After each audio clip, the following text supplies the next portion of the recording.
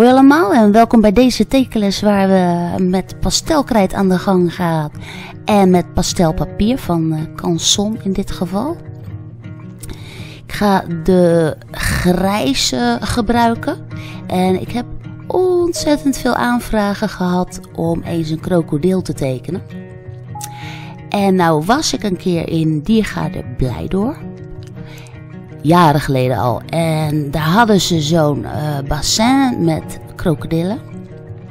Maar er zat zo'n hele dikke glazen plaat voor. En ik had het geluk dat er één in het water was. En ik kon dus prachtig door die glazen plaat heen kijken. En die krokodil die zat dus met zijn kop net boven water. Net die, die ogen erbovenuit. En uh, zeg maar, de rest van die kop is dus onder water. En dat is dus wat ik wil gaan tekenen. Het leuke daarvan is, is dat je de bovenkant uh, anders kleurt en anders uh, opzet dan de onderkant, die onder water is. Dat was van dat een beetje troebelige water. Dus in het midden zie je eigenlijk de scheidslijn tussen wat boven water en wat onder water is. Achter de krokodil zie je uh, de bovenrand van het water.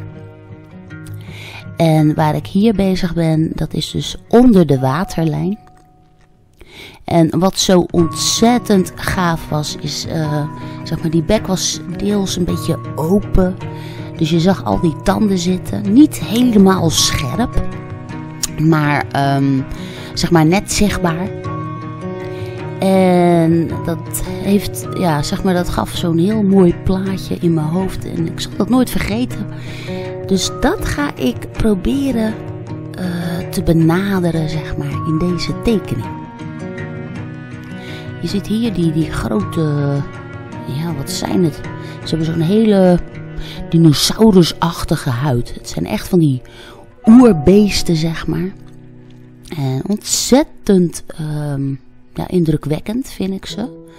Eng, maar toch ook mooi. En um, de opzet hier doe ik helemaal met een donkergrijs pastelpotlood. En ik gebruik de bobbelige kant van het kansonpapier. Zeg maar de achterkant van de papieren uh, van Canson, die zijn wat gladder. Maar in dit geval met zo'n um, krokodil die heel veel structuur heeft in die huid, heb ik toch gekozen voor de, de ruwe kant. De, de bovenkant is dat van het uh, pastelpapier. Wat ik doe met het grijze potlood is het zoeken naar uh, de donkerste delen uiteraard. Je ziet hier de onderlijn, dus de ware lijn van de onderkant van die krokodil. Maar daar ga ik straks met wit doorheen om zeg maar de oppervlakte van dat water dan neer te gaan tekenen. Maar ik moet dus wel uh, ook de onderkant van die uh, krokodil, die moet ik uh, die vorm hebben. En dat deel van de krokodil die boven water is, die gaan we anders behandelen. Die gaan we wat meer um, ja, gedetailleerd en wat meer kleur geven. Terwijl de onderkant, dus dat deel wat onder water is, die hou ik wat matter. Ik heb inmiddels um, lichtgeel, dus niet puur wit, maar het is ja, een soort heel lichtgeel. En hiermee ga ik nu de lichtste delen opzoeken. En zo'n krokodil is altijd een beetje ja, glimmend. Die, die, die is toch wel bedekt met water. En ook de tanden geef ik wat lichtschijnsel.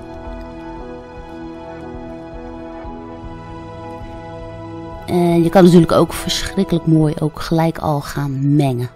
Dus door met dat lichte over dat grijs heen te gaan. Begin je al met het mengen van je pastelpigmenten. Uh,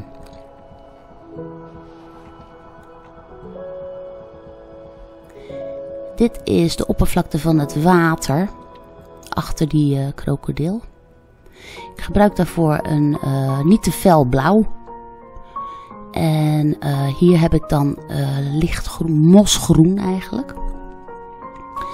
En krokodillen zijn niet echt heel heel groen. Het is meer een grijzigachtig groen.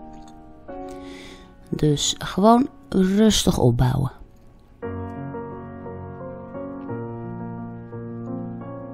Voor de onderkant gebruik ik meer bruintinten. En ja, dat water was uh, niet al te fris, zullen maar zeggen.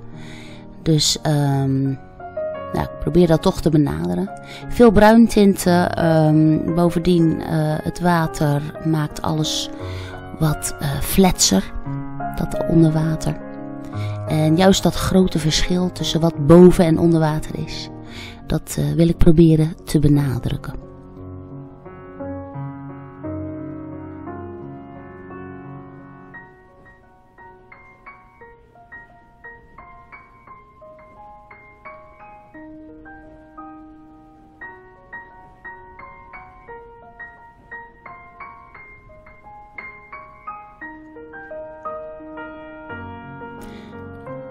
Wat ik nu doe is uh, zeg maar die onderkant, uh, zeg maar dat pigment, het dikste pigment weghalen. En wat ook meteen het effect is, is dat dat allemaal wat waziger wordt. Dan heb ik een licht mosgroen genomen. En daarmee maak ik eventjes de donkerste lijnen, ver, vervaag ik een beetje. Het moet niet al te scherp worden, maar ook niet te vaag. Uh, zeg maar, die krokodillen hebben wel uh, echt uh, een schubachtige huid. En het doet me ook altijd, het heeft er eigenlijk niks mee te maken, maar het doet me altijd een beetje denken aan draken.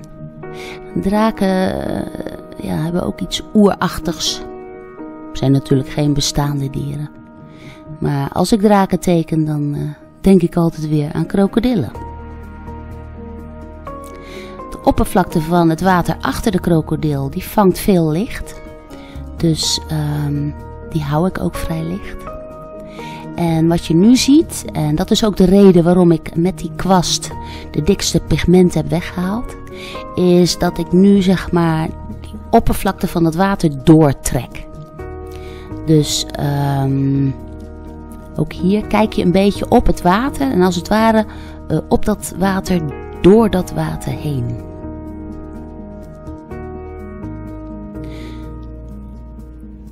Als je zeg maar, aan de bovenkant van de tekening uh, wilt werken zonder de boel daaronder door elkaar te mengen, leg dan even een papiertje onder je hand. Zodat je met een gerust hart op je tekenvel kan steunen mocht je dat nodig hebben.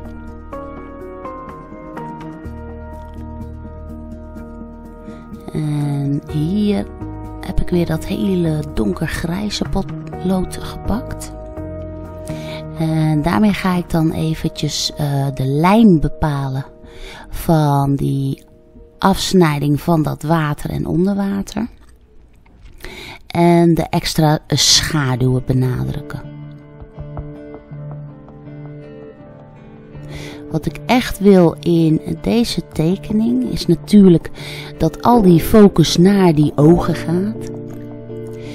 En uh, ja, die krokodillen hebben echt van die onwijs mooie, gave, snijdende ogen, zeg maar. Dus uh, daar gaat al mijn focus naartoe.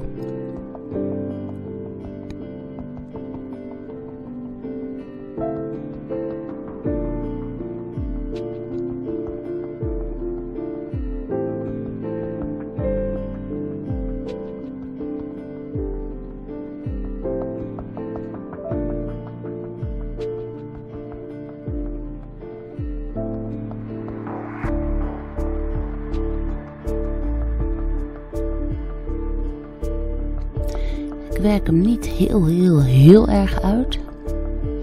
Ik uh, zet zeg maar die, die meest belangrijke schubben zet ik erin. En om wat uh, meer dat verschil zeg maar, te benadrukken van wat boven en onder is, zal ik ook nog wat um, zeg maar extra uh, oppervlakte van dat water eruit tekenen. En verder, zeg maar, alles wat onder die waterspiegel is, dat vervaag ik met mijn vinger. Dus ik wrijf dat pigment het papier in, zeg maar.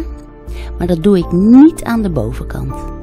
Dus daarmee krijg je nog eens extra het verschil tussen wat boven water is en wat onder water is.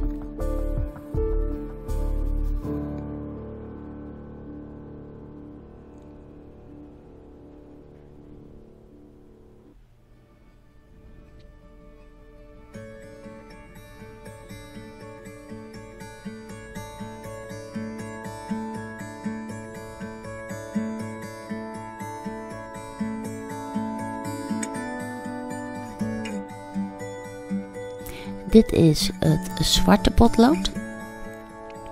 En die pak ik altijd pas op het aller, allerlaatst. Daar wil je niet te veel mee mengen, want dan wordt je tekening uh, een beetje vlak. Dus dat zwart gebruik ik puur voor eventjes uh, de felste lichtreflecties. En hier in dat oog. Ook die uh, pupil en wat schaduw. Pupil mag echt pikzwart zijn. En net even wat allerdonkerste schaduwen. Dus het zwart weer spaarzaam gebruiken. En ik gebruik het hier ook voor wat donkere vlekken in dat uh, onderste gedeelte van het water. Om dat wit en dat witte schijnsel eruit te laten uh, ploppen.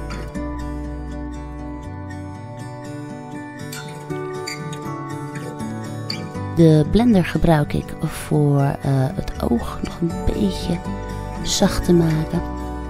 En uh, tot slot ook nog wat gele oker om uh, zeg maar extra te benadrukken wat boven water is en wat onder is.